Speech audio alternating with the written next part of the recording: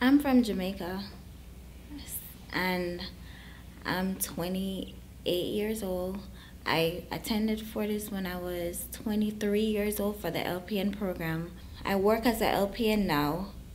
I love long term care. I love taking care of people, and for some, it's very rewarding for us to know that we're there for the patients. Some patients, we're the only family they have and the only one they see every day.